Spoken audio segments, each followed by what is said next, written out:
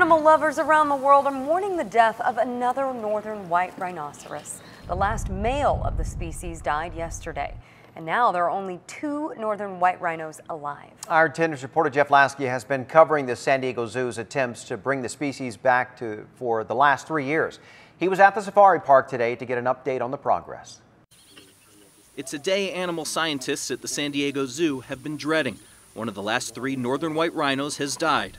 Sudan was the last male.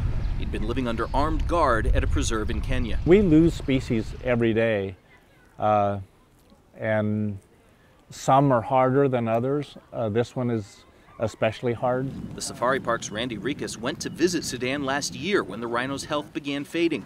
News of Sudan's death brought him to tears and anger toward the poachers who have driven the northern white to the edge of extinction. It's about what's there today and they really don't care. Uh, you know, they'll they'll stop when all the rhinos are gone. Sudan's death once again points the world spotlight on the San Diego Zoo's ambitious futuristic attempt to bring the northern white species back to life. There certainly is a lot of pressure. Uh, the, that's no doubt. To bring the northern white rhino back, they're going to have to rely on these southern white rhinos. They're basically genetic cousins. And right now, all the attention here is on one rhino in particular.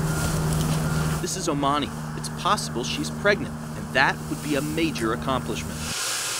In 2015, I took you into the frozen zoo, where scientists are working to create an embryo from northern white reproductive material.